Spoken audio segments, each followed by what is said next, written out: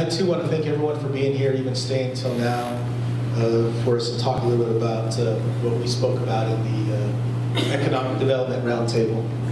We had a great group, and uh, it was really interesting. Probably the major theme throughout it was information sharing, but tribes come together to learn from one another and then sharing information. And as tribes come together to share information, they'll build trust with one another and be able to take on issues that impact not only them, but other tribes and other communities. And this was stated that they would like to see NAU, uh, probably CAIED host maybe quarterly workshops of bringing these tribal economic development directors together or tribal people, community planners together so they can have a, a forum where they can share information about projects they're working on and gain information from other tribes. Uh, as the more we fleshed out the idea, there's also the part in there about training.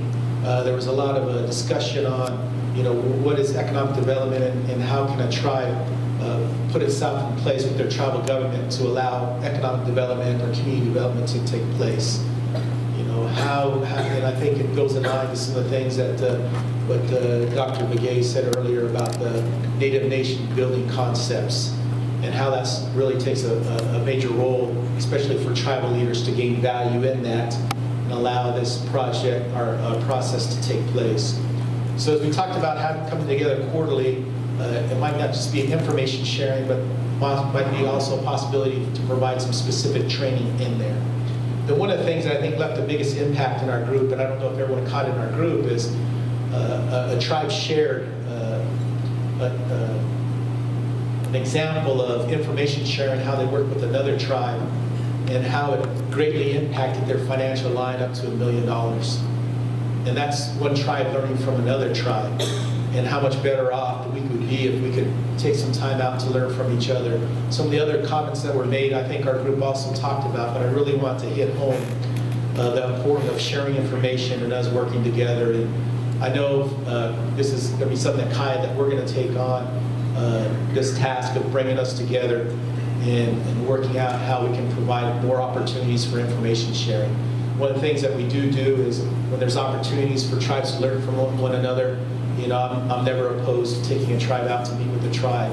Uh, the only thing I ask is that the tribe, you know, share the information that, uh, you know, you, you, would, you would return for another one.